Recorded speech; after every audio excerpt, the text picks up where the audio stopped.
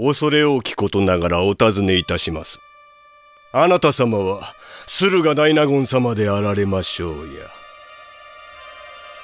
甲賀御法蓮思考をつかまつる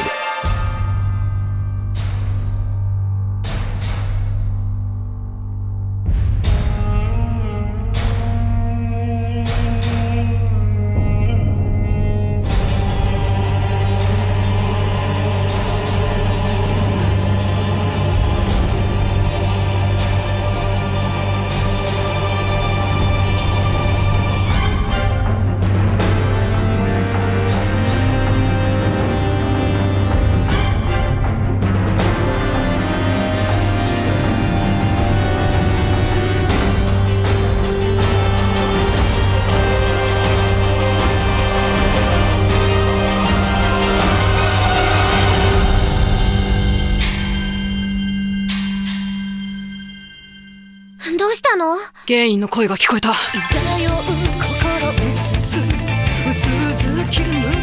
が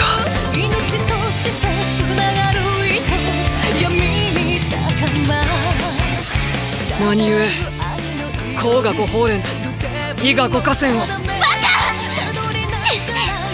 私八郎とならどうなってもいい。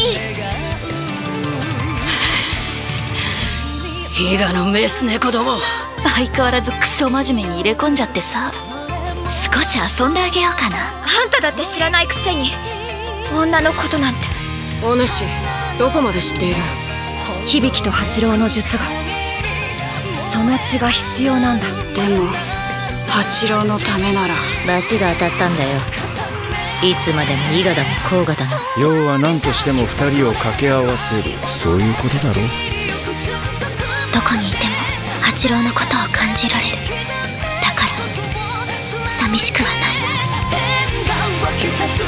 もはや徳川ごときのために我ら忍びの命を砥石にかけるはごめん被る。生きて返す道理などないわ。殺せ。殺せ。殺せ。